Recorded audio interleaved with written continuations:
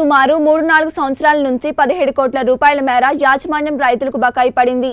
దీంతో ఎప్పటికప్పుడు రైతులు ధర్నాలు చేయడంతో కలెక్టర్ చొరవ తీసుకుని ఆర్ఆర్ యాక్ట్ కింద భూములను అమ్మి బకాయిలు చెల్లిస్తామని భూములను అమ్మకం పెట్టారు.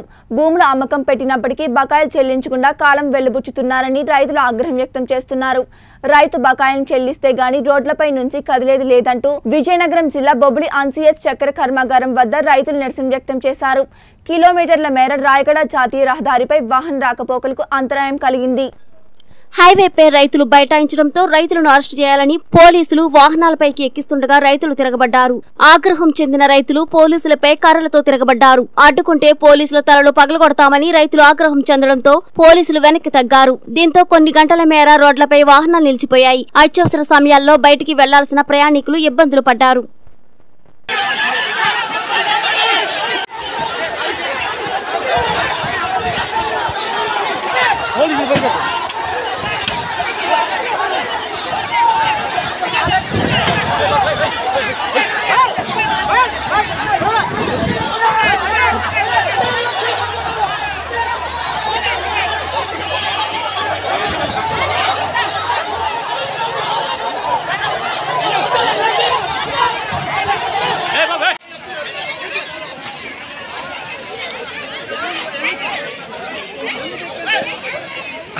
हरीश के ढूंढो